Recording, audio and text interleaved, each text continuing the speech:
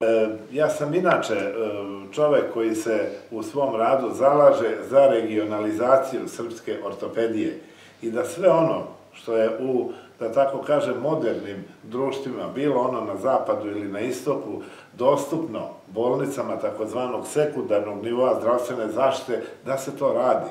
I veštačko koleno spada u tu kategoriju zdravstvene usluge i bez ikakvih ustručavanja možemo reći da ono treba da se radi ovde. Radit će se, počeli smo danas, e, dva smo kolena uradili, uradit ćemo treće. Ja sam napravio jednu prvu pokaznu operaciju, sad asistiram kolegama i izuzetno sam srećan jer to tako lepo ide i oni su ljudi pripremljeni, prošli su edukacije, prošli su e, simpozijume, kongrese, družimo se, razgovaramo i to jednostavno tako i treba da ide.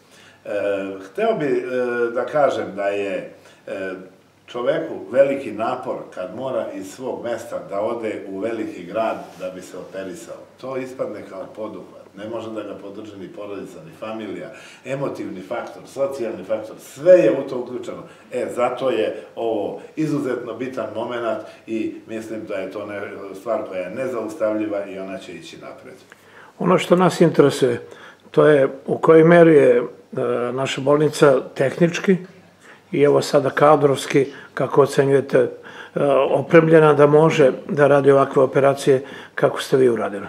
Potpuno je opremljena, ljudi su edukovani, trebao im je support, odnosno podrška ovakve vrste, ja sam uvek e, dostupan, jednostavno takav sam čovek, e, idem i u druge regije Srbije i izuzetno sam ponosan i na druge, na Suboticu, na Čačak, na Vršac koji sada e, napreduje, Užice je odavno odskočilo, znači jednostavno ovaj, tako to treba da bude, imaju se, postoje svi uslovi da se ovde radi ozbiljna ortopedska hirurgija, odnosno artroplastične procedure.